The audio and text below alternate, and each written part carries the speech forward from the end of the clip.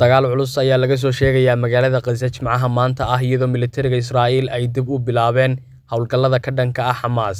kadib markii ay ku eedeeyeen inay jebiyeen xabad joojin kumeel gaadh ah oo ay rasaas ku fureen dhulka israa'iil. Xabad joojin socotay toddoba maalmood oo soo bilaabatay afar iyo labaatankii noofembar oo laba jeer la kordhiyey ayaa ogolaatay in tobannaan la haystayaal ah aqoonso lagu haystay lagu bedelo boqolaal maxaabiis falastiiniyiin ah taasoo sidoo kale fududaysay gelitaanka gargaarka bini'aadatinimo ee khaza saacad ka hor inta aysan dhicin xabad joojinta toddobada subaxnimo israa'iil ayaa sheegtay inay qabatay gantaal laga soo riday khaza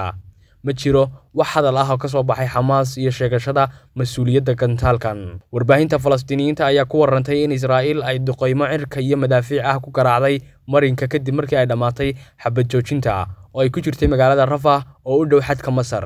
isxaaq cukaashe c b i t v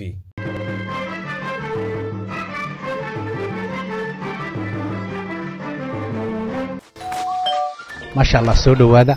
la jaanqaad shirkadda telesom maxmil waxay kuu diyaarisay adeegga internetka ay faibar optiga kaasoo xawaarihiisu kala go' lahayn waa guji waa ishaa biligteeda intuu soo gudlanayo hadalba gam